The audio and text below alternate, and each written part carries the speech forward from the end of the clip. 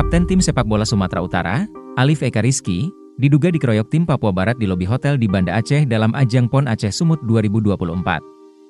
Akibat pengeroyokan itu, Alif mendapat dua jahitan di bagian hidung.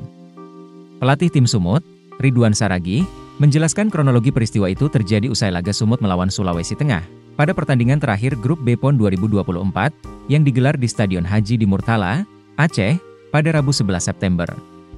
Tadi malam kita selesai bertanding dengan tim Sulawesi Tengah. Kita akan juara grup, kita pulang dan langsung naik ke hotel. Kamar kita akan posisinya ada di lantai 4. Kata Ridwan Saragi. Ridwan menjelaskan, Alif terbiasa masuk ke dalam hotel paling terakhir untuk memastikan seluruh tim masuk. Setelah semua pemain sumut masuk ke lantai 4, terdengar teriakan dari lantai 3, yang menjadi tempat tim Papua Barat menginap. Semua sudah masuk kamar, terdengar ribut-ribut di lantai 3, teriak-teriak, Kebetulan di lantai tiga itu tim Papua Barat. Kata Ridwan Saragi. Setelah kejadian tersebut, tim Sumut langsung melaporkan peristiwa pengeroyokan itu ke Polresta Banda Aceh.